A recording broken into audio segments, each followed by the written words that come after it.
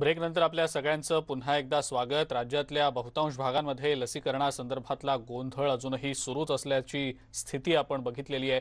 काही वेळापूर्वी आपण परभणीमधली स्थिती जाणून घेतली. मात्र आता आपण वसईमधली स्थिती नेमकी काय याचा आढावा घ्यायचा आहे. वसई आणि विरारमध्ये सध्या लसीकरणासंदर्भातली काय स्थिती आहे याबाबत आपण थेट माहिती घेणार आहोत. आमचे प्रतिनिधी विजय देसाई सध्या आपल्यासोबत आहेत. विजय आपण जर बघितलं तर राज्यातल्या बहुतांश भागांमध्ये लसीकरणासंदर्भातला गोंधळ अजूनही कायम आहे.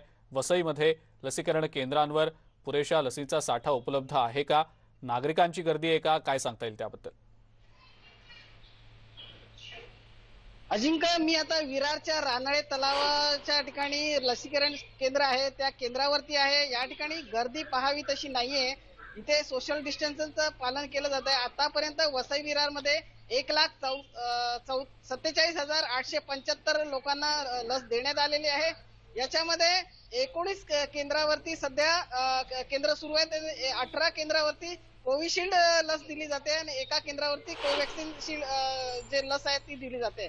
वसई विरार महानगरपालिकेचे जे आरोग्य अधिकारी आहेत त्या त्यांच्याकडे आम्ही चौकशी केली असता ते व्यवस्थित माहिती देत नाहीत. कारण ते त्यांना काय करावं हेच सुचत नाही. कारण सगळीकडे गोंधळ दिसतोय.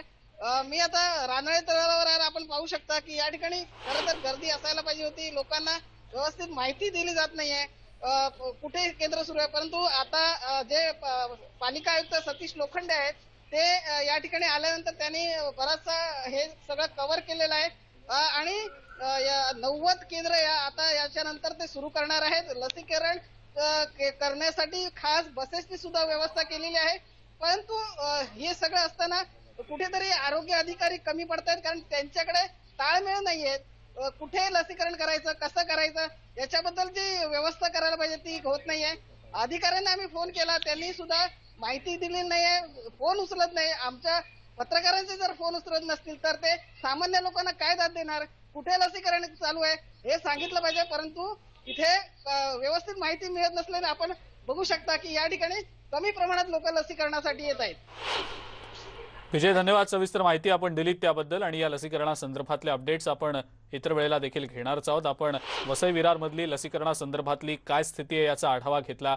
गोंधळाची स्थिती आहे. लोकांना अजूनही व्यवस्थित सूचना दिल्या जात नाही आहेत लस उपलब्ध आहे का? लसीकरणासंदर्भात जे स्लॉट्स काहींनी बुक केलेले आहेत ते स्लॉट्स देखील व्यवस्थितपणे बुक होत नसल्याच्या तक्रारी अनेकांच्या आलेल्या होत्या. मात्र नोंदणीबद्दल जर हा गोंधळ असेल तर मग वॉक इन जे येत आहेत त्यांना नेमकी कशा पद्धतीनं सूचना दिली जाते याबद्दलचा देखील गोंधळ आहे. एका ब्रेकची वेळ झालेली आहे. बघत रहा न्यूज एटीन लोकपाल